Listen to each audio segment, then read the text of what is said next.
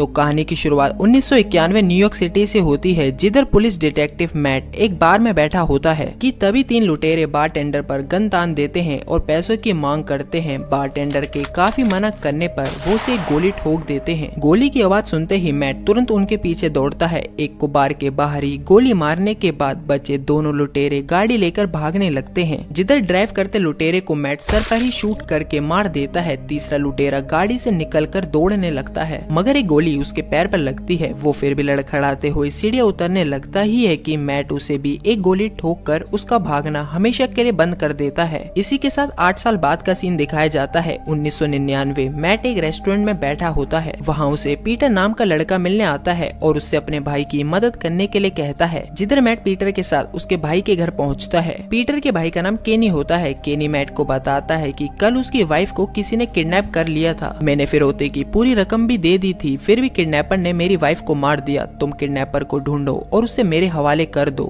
Mat कैनी के घर को देखता है और उससे उसके काम के बारे में पूछता है। पहले तो कैनी अपने कंस्ट्रक्शन का काम बताता है, पर वो कैनी को सच्चाई बता देता है कि वो असल में एक ड्रग डीलर है। जिधर कैनी अपनी वाइफ के हत्यारे को ढूँढने के लिए मैट को चालीस हज़ार डॉलर ऑफ़र भी करता है। मैट इस ऑफ़र के बारे में कुछ सोचता है, फिर कैनी को मना करके बाहर निकल आता है। बाहर बैठे पीटर को मैट कहता है कि, अगर मुझे पता होता कि तुम्हारा भाई ड्रग डीलर है तो मैं यहाँ कभी नहीं आता। मूवी के अगले सीन में मैट एक चर्च के हॉल में लोगों को अपनी शराब छोड़ने की लत बता रहा था। यहाँ से अपने अपार्टमेंट पर पहुँचने पर वो कैनी को दरवाजे के बाहर बैठा हुआ देखता है। आगे कैनी मैट को बताता है की वो अपनी वाइफ से बेहद प्यार करता था और ये बताते हुए कैनी रोने लगता है। वो मैट को बताता है कि उस दिन वो अपने घर में सोया हुआ था कि तभी एक कॉल आती है। कॉल उठाने पर किडनैपर ने कहा कि तुम्हारी वाइफ मेरे पास है। ये कहकर उसने फ़ोन काट दिया। तो मैंने सारे घर को चेक किया, पर वो कहीं नहीं थी कि तभी किडनैपर का फ़ोन दोबारा आता है। किडनैपर एक मिलियन डॉलर की मांग करता है। कैनी उसे बताता है कि इस समय मेरे पास सिर्फ़ चार लाख डॉलर ही हैं और मैं इतने ही रकम दे सकता हूँ। जिधर किडनैपर कैनी की बात मान जाता है और उसे चार लाख डॉलर के साथ एक फ़ोन बूथ के पास बुलाता है। कैनी जैसे ही बूथ के पास पहुँचता है कि तभी फ़ोन बजता है, कैनी के फ़ोन उठाने पर किडनैपर पैसों की बात पूछता है। जिधर कैनी उसे बताता है कि पैसे मेरी कार में ही हैं। आगे किडनैपर कैनी से कहता है, ठीक है, अब तुम कार को यहीं छोड़ दो और पैदल चलकर रिचर्ड स्ट्रीट तक जाओ और वहाँ पाँच मिनट रुकने के बाद वापस यहीं आओ। तुम्हें तुम्हारी वाइफ कार में ही बैठी मिल जाएगी। कैनी बिल्कुल ऐसा ही करता है। वापस कार के पास आकर वो कार में देखता है तो उसकी वाइफ कार में नहीं होती। जिधर फ़ोन बूथ की घंटी फिर बजती है। किडनैपर कैनी से कहता है, तुम्हारी वाइफ तुम्हें तुम्हारे घर पर ही मिलेगी। काफ़ी हड़बड़ी में कैनी जल्दी से अपने घर पर पहुंचकर चेक करता है, पर उसकी वाइफ घर पर भी नहीं होती। एक आखिरी बार किडनैपर कैनी को दोबारा फ़ोन करता है कि रियल हुक नाम की जगह पर तुम्हें एक लावारिस कार की डिग्गी में तुम्हें तुम्हारी वाइफ मिलेगी। कैनी जब उस जगह पर पहुँचता है और गाड़ी की डिग्गी खोलता है तो डिग्गी में छोटे छोटे दो पैकेट रखे होते हैं। कैनी एक पैकेट को उठाता है और चाकू से उसे काटता है तो उससे खून रिसने लगता है। जिधर किडनैपर कैनी की वाइफ के टुकड़े टुकड़े करके पैकेटों में छोड़ गए थे, और काफ़ी दुखी मन से कैनी एक टेप रिकॉर्डर मैट के पास ही छोड़कर चला जाता है। क्योंकि कैनी को ये टेप रिकॉर्डर अपनी वाइफ के टुकड़ों के पास ही मिला था। मैट जब रिकॉर्डर को सुनता है, उसमें कैरी को टॉर्चर करने की आवाज़ें होती हैं। आगे मैट इस केस की इन्वेस्टिगेशन के लिए रेड हुक जगह भी जाता है, जहाँ कैरी के टुकड़े भी मिले थे। मैट उस जगह जाता है, जहाँ से कैरी को किडनैप किया था। वो वहाँ की दुकानों से कैरी के बारे में पता करता है और वहीं पर काम करने वाला एक लड़का मैट को बताता है कि कैरी ने मुझे दो बार टिप भी दी थी, इसलिए मैं कैरी को जानता हूँ। बदकिस्मती से उस दिन वो दो किडनैपर भी थे। उन दोनों ने एक जैसी ड्रेस पहन रखी थी। वो दोनों एक वैन पर आए थे और उन्होंने कैरी को ब्लू वैन में खींचा और उसे लेकर चले गए। सीन कट होता है। मैट एक लाइब्रेरी में पुराने न्यूज़पेपर की क्लिप्स देख रहा था, जिसमें कि उसे शहर में हो रही किडनैपिंग मर्डर के एक फिक्स पैटर्न के बारे में पता चलता है। वही मैट की मुलाकात एक टीजे नाम के लड़के से होती है। टीजे एक पुराने केस की जानकारी निकालने में मैट की मदद भी करता है, और इस केस में भी लाश टुकड़ों में ही मिली थी। ये एक मैरी नाम की लेडी थी, जिधर हाल ही में हुए लीला नाम की कॉलेज स्टूडेंट के किडनैपिंग और मर्डर केस की जानकारी मैट को देता है, जिसके कुछ टुकड़े डस्टबिन में और कुछ ग्रीनवुड कब्रिस्तान के तालाब में मिले थे और बात रही आई विटनेस की तो लीला को भी एक ब्लू वैन में तीन लोग किडनैप करके ले गए थे। और अगले ही दिन मैट ग्रीनवुड कब्रिस्तान में जाता है। वहाँ मैट जोनस नाम के आदमी से मिलता है। जोनस मैट से कहता है, मैंने ही तालाब से लीला नाम की लड़की के टुकड़े निकाले थे। आखिर क्यों तुमने मुझे फिर से वो सब याद दिला दिया? और जोनस के कब्रिस्तान से बाहर निकलने पर मैट उसका पीछा करता है। जिधर मैट को भी यही लगता है कि उसका भी कोई पीछा कर रहा है। जोनस तो वही के बिल्डिंग के अंदर चले जाता है और मैट भी एक गाड़ी के पीछे खड़ा हो जाता है। और अपना पीछा करने वाले शख्स को पकड़ लेता है। ये वही बच्चा टीजे होता है। मैट उससे पूछता है कि तुम यहाँ क्या कर रहे हो? तो टीजे कहता है, मैं भी तुम्हारी तरह जासूस बनना चाहता हूँ। और दूसरी तरफ़, जिस बिल्डिंग में जोनस गया था, उस बिल्डिंग का नाम देखकर मैट एक पेपर कैटिंग निकालता है, जिसमें की लीला के मंगेतर के बारे में लिखा था, वो इसी बिल्डिंग में रहता है। टीजे को उसका पीछा न करने के लिए कहकर वो उस बिल्डिंग में चला जाता है। आगे लीला के मंगेतर के घर पर वो लीला के बारे में पूछता है। वो मैट को बताता है कि मैं कॉफ़ी शॉप पर बैठकर लीला का इंतज़ार कर रहा था कि तभी तीन लोग ब्लू वैन में लीला को किडनैप करके ले जा रहे थे। मैट के पूछने पर वो बताता है कि वो उन तीनों में से किसी का चेहरा नहीं देख सका। जिधर मैट खिड़की से सामने जोनस को बिल्डिंग से बाहर निकलता देखता है। वो लीला की मंगेतर की बिल्डिंग से निकलकर जोनस की बिल्डिंग के छत पर जाता है। जिधर मैट देखता है कि यहाँ से लीला के मंगेतर का अपार्टमेंट साफ़ साफ़ दिखाई देता है कि तभी जोनस मैट को अपनी बिल्डिंग के छत पर खड़ा देख लेता है। छत पर एक स्टोर रूम भी था जिस पर ताला लगा हुआ था। मैट ताला तोड़कर छानबीन करता है। वहाँ उसे लीला और उसके मंगेतर की बहुत सी फ़ोटोज़ मिलती हैं, जो कि इसी छत से ली गई थी। इन फ़ोटो में लीला और उसके मंगेतर की फ़िज़िकल होते हुए की भी तस्वीरें थी। इतने में यहाँ जोनस आ जाता है। मैट उसे कहता है की, तुम्हारी पोल खुल गई है। तुमने पुलिस को अपना गलत एड्रेस बताया था। और जोनस कहता है की, ये मेरा एड्रेस नहीं है। यहाँ मेरी माँ रहती थी। जोनस मैट को चाकू दिखाकर कहता है, तुम सब जान ही चुके हो तो तुम यहाँ से ज़िंदा नहीं जा सकते। और मैट जोनस से कहता है कि, कहीं ऐसा ना हो जाए कि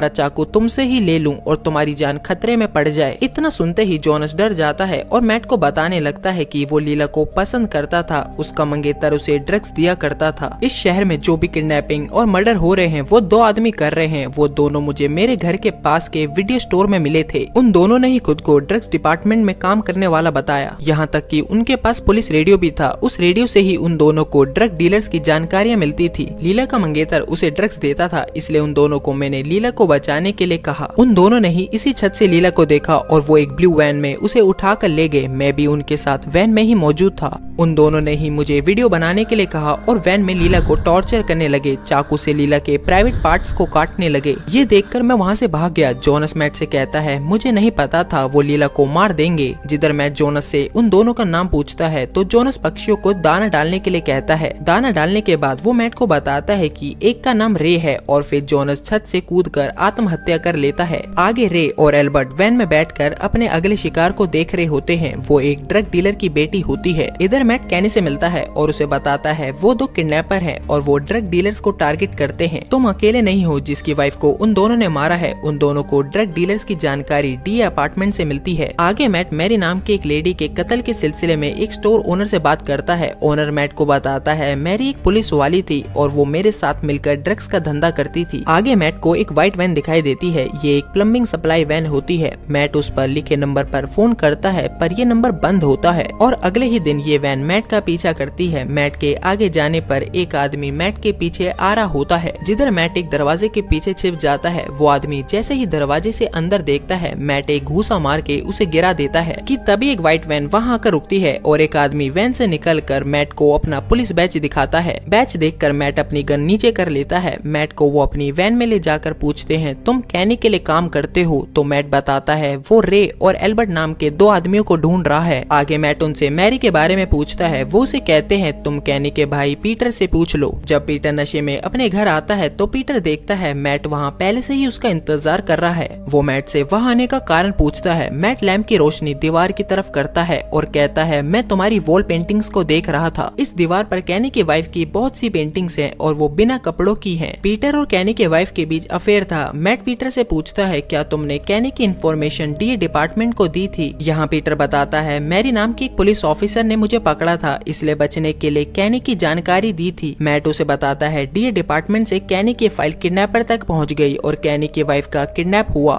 सिर्फ़ तुम्हारी वजह से कैनी की वाइफ मारी गई। इस बात को सुनकर पीटर रोने लगता है। मैट पीटर से कहता है, तुम अपने भाई को बोलना कि मैं उसका काम अब नहीं करूँगा और कल उसके पैसे लौटा दूँगा। वहीं दूसरी तरफ़ टीजे पर दो लड़के हमला करते हैं। और उसका बैग व पैसा छीन कर भाग जाते हैं। मैट के अपार्टमेंट का रिसेप्शनिस्ट मैट को टीजे के फ़ोन आने की जानकारी देता है। मैट टीजे से मिलने हॉस्पिटल जाता है और टीजे को बताता है कि क्रिमिनल्स को मारते हुए उसके हाथ से एक बच्चे की मौत हो गई थी और तभी से मैंने अपनी जॉब छोड़ दी। आगे किडनैपर उसी ड्रग डीलर की लड़की को उसी के घर में घुसकर किडनैप कर लेते हैं। हॉस्पिटल में टीजे को मैट द्वारा दिए गए कपड़े, जूते और एक सेलफोन मिलते हैं। अगली ही सुबह मैट कैनी के पैसे लौटाने कैनी के घर जाता है, पर वहाँ कैनी नहीं पीटर मिलता है, जिधर पीटर मैट को बताता है कि कैनी के एक दोस्त की लड़की को किडनैप कर लिया गया और मैट पीटर को लेकर ही उस ड्रग डीलर के घर जाता है और उसे बताता है इन किडनैपर्स ने बहुत लेडीज़ को किडनैप करके उनकी हत्या करी है, जिनमें से कैनी की वाइफ भी थी। शायद अब तक उसने तुम्हारी बेटी को मार भी दिया होगा। तभी रे का फ़ोन ड्रग डीलर के पास आता है। मैट ड्रग डीलर से फ़ोन ले लेता है और किडनैपर रे से कहता है, तुम्हें पैसे तभी ही मिलेंगे जब लड़की सही सलामत हो और उसे एक खरोच भी नहीं आई हो। और मैट फ़ोन काट देता है। ड्रग डीलर मैट से पूछता है, तुमने ऐसा क्यों कहा? मैट कहता है, तुम्हारी लड़की को ज़िंदा रखने का सिर्फ़ यही एक रास्ता है। पैसे न मिलने के डर से वो तुम्हारी लड़की को ज़िंदा रखेगा। मैट जिधर टीजे को फ़ोन करके उसे अपने अपार्टमेंट से एक बॉक्स लाकर पीटर को देने के लिए कहता है, इधर रे मैट से कहता है, मैं तुमसे वादा करता हूँ की लड़की ज़िंदा है। और मैट रे से कहता है, जो तुमने कैनी की वाइफ के साथ किया है तो मैं तुम पर कैसे विश्वास कर लूँ? रे कहता है कैनी पैसों में बार्गनिंग कर रहा था, इसलिए मैंने उसकी वाइफ को मारा था। मैट रे से कहता है, मैं तुमसे कोई सौदेबाजी नहीं करूँगा, पर मेरी बात लड़की से करवाओ। रे मैट से कहता है, मैं बात तो नहीं करवा सकता, पर तुम कुछ ऐसा पूछो कि तुम्हें यकीन हो जाए कि लड़की ज़िंदा है। जिधर मैट लड़की के पिता से ऐसी कोई बात बताने के लिए कहता है, जिसका जवाब सिर्फ़ और सिर्फ़ लड़की दे सके। ड्रग डीलर मैट से उसके अभी का डॉग और इस डॉग से पहले वाले डॉग का नाम पूछने के लिए कहता है। इधर टीजे मैट का बॉक्स लेकर पीटर के साथ निकल जाता है और रे मैट को डॉग्स के नाम बताता है। लड़की के पिता और मैट को यकीन हो जाता है कि लड़की ज़िंदा है। टीजे पीटर को बॉक्स न देकर मैट के पास आकर उसे बॉक्स देता है। जिधर टीजे इन सभी को बैग में पैसे रखते हुए देखता है, मैट ऊपर के नोटों की गड्डियों के नीचे नकली नोट भी रखता है। इधर रे का फ़ोन दोबारा आता है। मैट और रे ग्रीनवुड कब्रिस्तान में मिलने का फैसला करते हैं। मैट रे से कहता है, कब्रिस्तान के दो गेट हैं, एक से तुम आओगे और पीछे के गेट से मैं आऊँगा। आगे मैट कैनी पीटर लड़की का पिता यूरी और टीजे कब्रिस्तान पहुँच जाते हैं। मैट टीजे को गाड़ी से बाहर न निकलने का आदेश देता है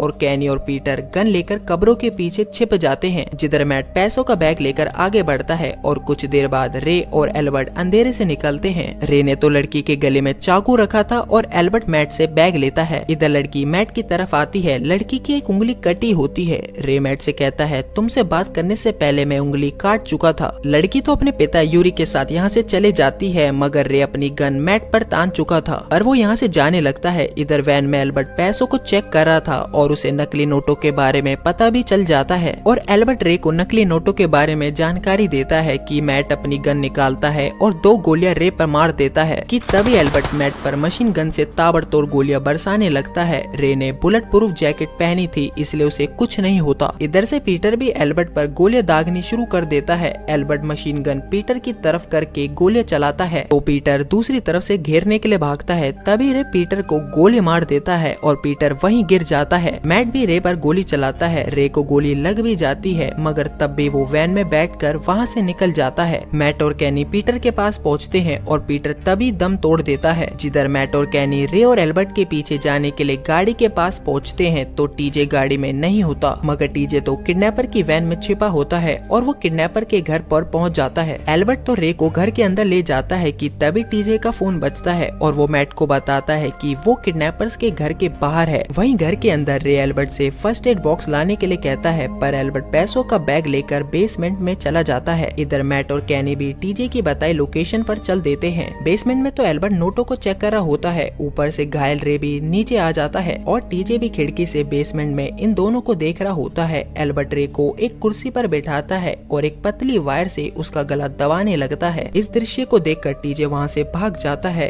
अब कैनी और मैट भी इस घर पर पहुँच जाते हैं और एल्बर्ट को पकड़ लेते हैं। मैट बेसमेंट में देखता है, जहाँ रे मरा हुआ मिलता है। इधर कैनी एल्बर्ट को गोली मारने वाला होता है, लेकिन मैट उसे कहता है, इसके खिलाफ काफ़ी सबूत है, इसे पुलिस के हवाले कर दो। पर कैनी मैट से कहता है, नहीं, इसे मैं ही सजा दूँगा। और मैट ये सुनकर टीजे को लेकर घर से निकल जाता है। कैनी फिर एल्बर्ट के सिर पर बोतल से मारता है और एल्बर्ट बेहोश हो जाता है। कैनी एल्बर्ट को काटने के लिए बेसमेंट में जाकर इनके हथियार को देखने लगता है कि एल्बर्ट को होश आ जाता है और वो खुद को छुड़ाने लगता है। इधर मैट टीजे को एक कैब में बिठाकर उसे घर भेज देता है और कैनी को देखने के लिए किडनैपर्स के घर आता है। घर में चारों तरफ़ खून बिखरा होता है और कैनी कहीं दिखाई नहीं देता। मैट बेसमेंट में जाता है, सीढ़ियों पर उसे कैनी दिखाई देता है कि तभी मैट का पैर फिसलता है और वो नीचे गिर जाता है। मैट तुरंत कैनी की तरफ़ देखता है तो वो कई टुकड़ों में होता है। अब कैनी भी मारा जा चुका था, जिधर मैट एकदम से सतर्क हो जाता है, पर एल्बर्ट उसी पतली वायर से मैट की गर्दन को दबाने और काटने लगता है और मैट गन के पीछे की तरफ़ से फायर करते हुए अपने आप को छोड़ा लेता है। इधर एल्बर्ट अपने धारदार हथियार हथियार से मैट पर हमला करता रहता है कि तभी मैट को रे की जेब में एक टीजर गन दिखाई देती है। मैट टीजर गन लेने रे की लाश के पास जाता है। एल्बर्ट मैट पर धारदार हथियार से हमला करता है। मैट हटता है और वो वार सीधे रे की लाश पर पड़ता है। मौका पाते ही मैट टीजर गन एल्बर्ट के लगा देता है। एल्बर्ट एक जोरदार झटके से गिरता है। अंतिम बार मैट अपनी गन उठाता है और एल्बर्ट का भेजा उड़ा देता है और इसी के साथ ये मिस्ट्री सस्पेंस मूवी खत्म होती है। Thanks for watching.